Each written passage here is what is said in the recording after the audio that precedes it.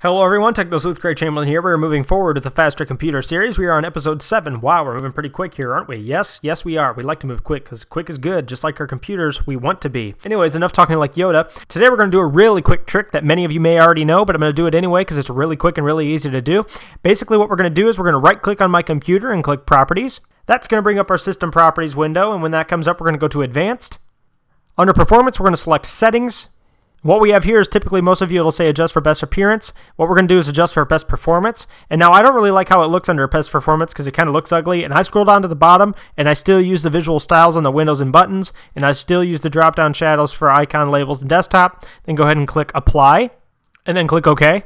Click OK again and you may not notice a big difference in the visual changes of your system, but believe it or not, it's disabled quite a few things. And again, you can always go back there and select items one by one on the ones you wish to have those effects back on, but that's a great way to speed up your computer by basically minimizing the number of resources that Windows XP uses for visual effects. I hope this helped you guys out, and uh, please leave comments and ratings. Again, hang in there. We're going to keep moving forward with the Faster Computer series. If it's not running faster by now, which I'd be surprised, we're going to keep showing you facts that will continue to speed it up. Don't forget to subscribe to my videos. I'm trying to put a video up every day, and uh, thanks again for stopping by.